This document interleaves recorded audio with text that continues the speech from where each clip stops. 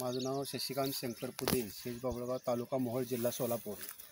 मी विषमुक्त शेती आणि शे विषमुक्त अन्न यावर आणि मी सोलापूर जिल्हा गोसेवा सहप्रमुख म्हणून काम करतो आहे आणि मी आपल्या शेतामध्ये सेंद्रिय शेती करायचा निर्णय ज्यावेळेस घेतला त्यावेळेस पहिले सुरुवातीला दारामध्ये आपल्या खिलार गाईचं पालन केलं आणि तिच्या शेण आणि गोमूत्रावर आधारित सेंद्रिय शेती सुरू केली.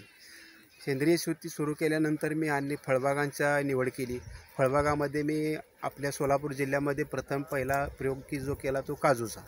आणि काजूचा प्रयोग आपल्या सोलापूर जिल्ह्यात गाईच्या शेण आणि गोमूत्राचा वापर करून तो यशस्वी केला. त्याच्यानंतर आंबा. आंब्याची बाग चार एकर काजूची बाग दोन एकर चक्कूची बाग दीड एकर. अशा पद्धतीनं सुपारी नारळ पुन्हा मसाला पिकं ह्या सगळ्या बागाची मी सुरू पूर्ण कोकण आपल्या सोलापूर जिल्ह्यामध्ये उभा केला.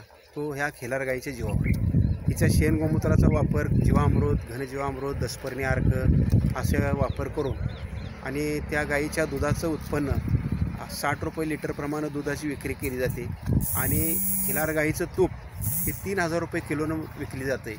खिलार गाईच्या तुपाचं जे